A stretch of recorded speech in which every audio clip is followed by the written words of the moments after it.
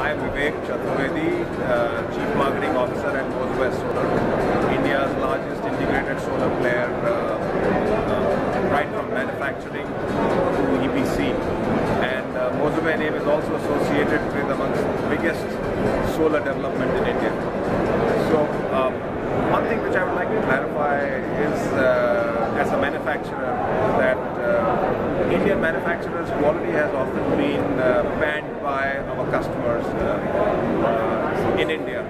And for that, I would like to demonstrate that here is a uh, almost a 2 megawatt farm which has been set up uh, using Moser Baer panels. Just what, what I showed you, just that 2 megawatt size plant that we set up in Japan and, and uh, actually we supplied modules there.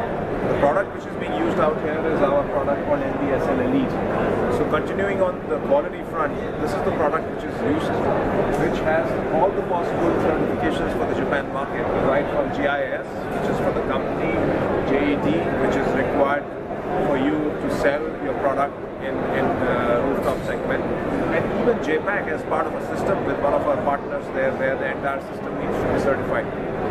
These are some of the most quality conscious segments and the modules go through some of the toughest benchmarks and tests for you to be certified to sell in Japan market. Now if Indian quality and our product quality not good enough, it wouldn't be having certification from all the bodies when you need to sell in such highly quality sensitive segments. My request to all the people who complain about quality of Indian manufacturers is that uh, now we've launched this product in India. Please bid at prices where the projects can afford such products.